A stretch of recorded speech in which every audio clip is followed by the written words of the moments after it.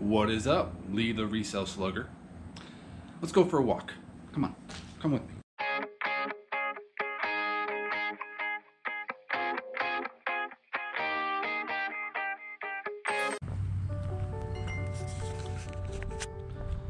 It is a beautiful day here in Loveland, Colorado. I'm digging it. So a little uh, history on where I'm from. I grew up in Orange, Connecticut for about 10 years. Moved to Arlington, Vermont. I grew up most of my life in Arlington, Vermont, the cheese and maple syrup state. Next, I went to college, New London, New Hampshire, in a school called Colby Sawyer. I played some baseball there and I also uh, majored in sports management.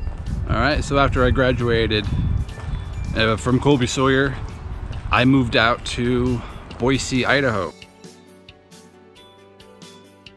The potato state.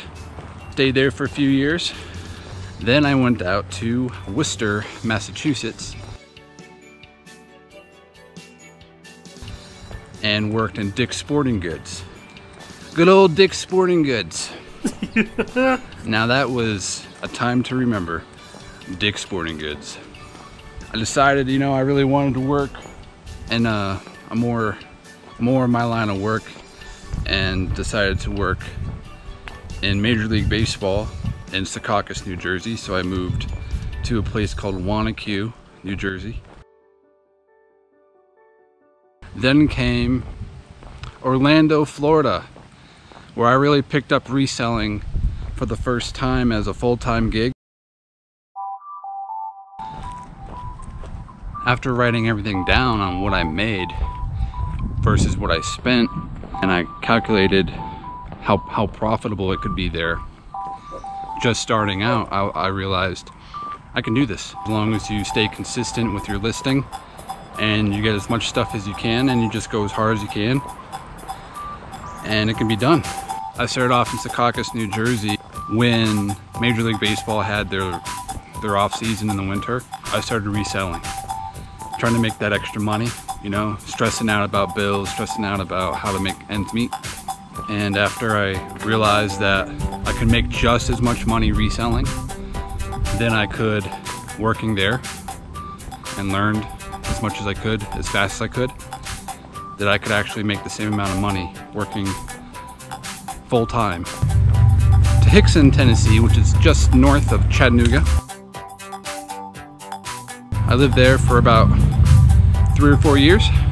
I struggled with reselling there because the quality wasn't as good.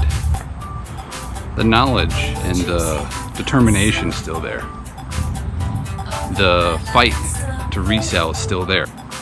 It's when you go through these tough times where you realize what you really want in life. And I could do it, you know, I can get it done. You know? It was pretty satisfying to realize that you can actually do this to live. So if I can do it, you can do it. And that's all you need to know. All right? Today I'm going garage tailing. I'm gonna hit since I'm new to the area, I'm going to hit every single place that I possibly can to learn what areas are good, what areas are bad, and we're just going to figure it out along the way. So, let's do it. Let's go.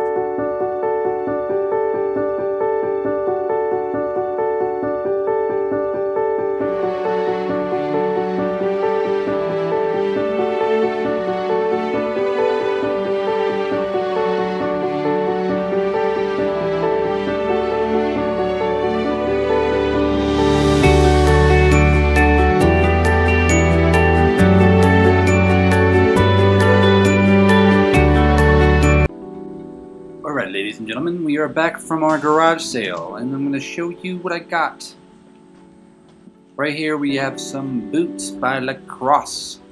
I love these boots, they're very durable, they're size 12. I might keep, nah I'm not. So they're worth about $45, $50. Here we have a TaylorMade burner, three wood golf club.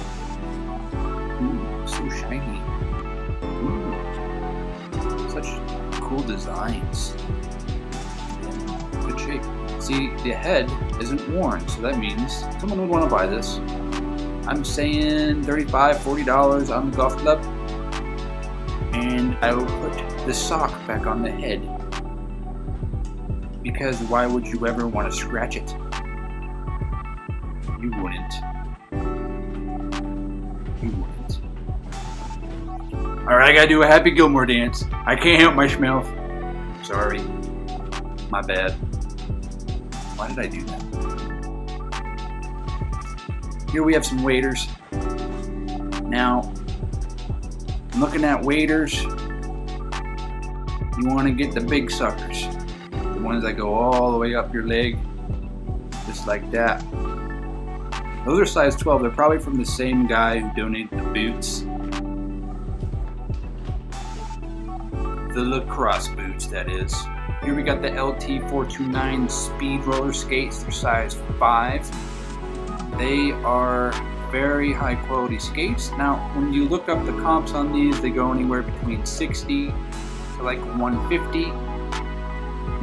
So, you know, it's probably dependent on the size, probably dependent on the submodel. I'll have to look more into those, but I should I should feel that $50 is probably a good mark for. I got these for a dollar for both. You always want to make sure that the joysticks work, so you flick them and make sure they click and clack and all that good stuff. Probably get 15 a piece on those. Clean them out, clean them up a little bit. They're dusty.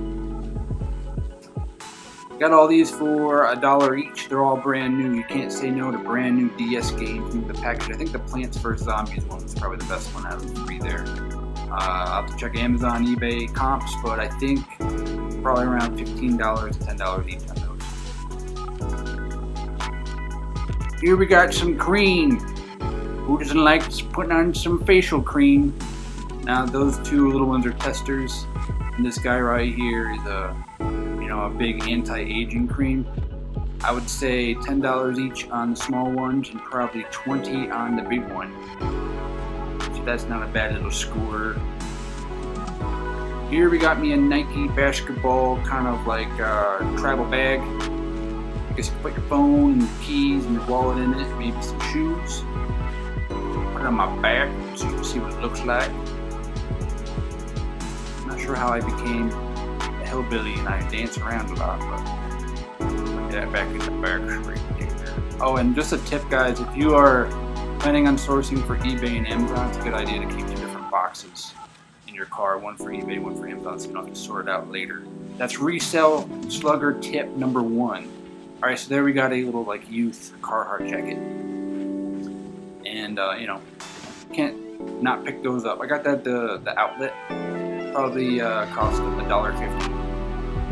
Right here we got a, a, a jacket that I never heard of before, so just looked like high quality to me. It looked like a really decent jacket to pick up for a dollar, so I just picked it up and see how that goes.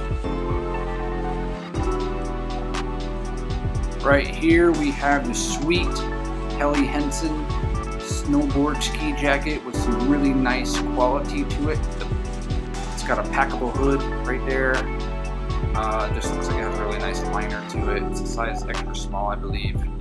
And it's got a Helly Tech liner. Uh, you know, it's just quality stuff. You can tell, like, once you pick it up, you can feel the weight of it. It just looks like it's probably one of those jackets that, like, a ski resort employee would wear or something like that. You just can't not pick those suckers up when you get them for two bucks like I did at the outlet. Most of the clothes I got from the outlet. Uh, I usually don't do clothes unless it's jackets or boots or shoes. We got a Yochik, Yokick, Yochik, the Joker, the Joker uh, Nuggets shirt. Can't not can't pass that up when you're a sports fan like I am. That cost me a quarter.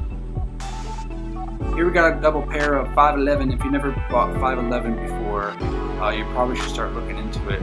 511 is one of those brands where a lot of uh, you know employees uh, want some high quality work pants. You know, but they don't want them to be as thick as Carhartt or Dickies. Dickies has, has a thinner liner on most of their pants too, but sometimes they go a little bit thick. So 511 has all these cargo pockets, good for holding up, up your gear, and uh, you know, if if you ever go to a store, which I have done one time, I bought me some 511 pants and they were like 60 or 70 dollars for a black pair. I wanted to puke when I saw the price tag, but you know, I couldn't find any others like it at the time. I went to like five or six different stores and I'm getting me some 511s. So I got two pairs of those, two dollars each. Should sell for about 30 to 40 dollars each. Here we have a Denver, Denver Broncos jacket by Starter. It's got the it's got the uh, quilted liner inside. It's got some cool little camouflage little buttons there. Size men's large. Den Denver Broncos. Can't go wrong with that. It's about a two dollar pickup. Should get about $35, 40 dollars out of that one. This one actually is much much better. It's actually a Nike version of it, and it's much thicker. Kind of looks like the one that the players wear, on the sidelines. Got this weird split hood.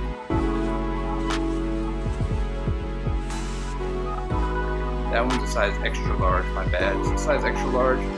It's very heavy. And I see no reason why I can't get around 50 bucks for that one. That one costs about two bucks.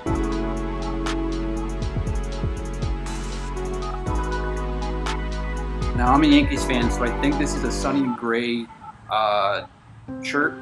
Sonny Gray played for the Yankees. He had kind of a terrible outing with, with the Yankees.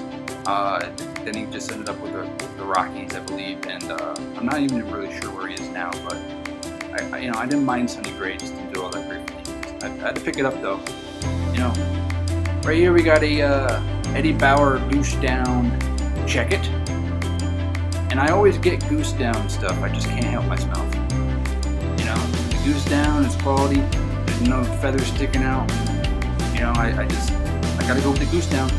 It's my thing. If I see goose down, I pick it up. All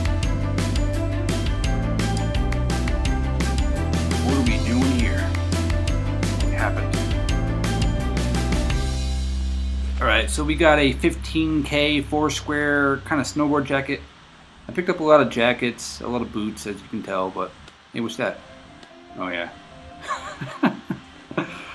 That's uh, a liner that needs to be uh, zipped back together, so I'm gonna go ahead and zip that back up and get that nice and tight in there, so that no one, uh, you know, yells at me when I chip it out with a with a loose liner in it. But 15K Foursquare, I never really heard of the brand before, but again, it felt like quality. And when you're at the outlet, you should really, re I recommend that you try new stuff. That way you learn. You know, I kind of get jacked up when I see something I haven't seen before and it seems like it's quality. You bring it home, you have no idea what it's going to be worth. I, would suspect that that one is probably a 30 or 40 dollar jacket. Here we have a Woolrich, and it's just kind of a, uh, a medium weight uh, worker's jacket with that uh, kind of sheep, you know, fake sheep lining.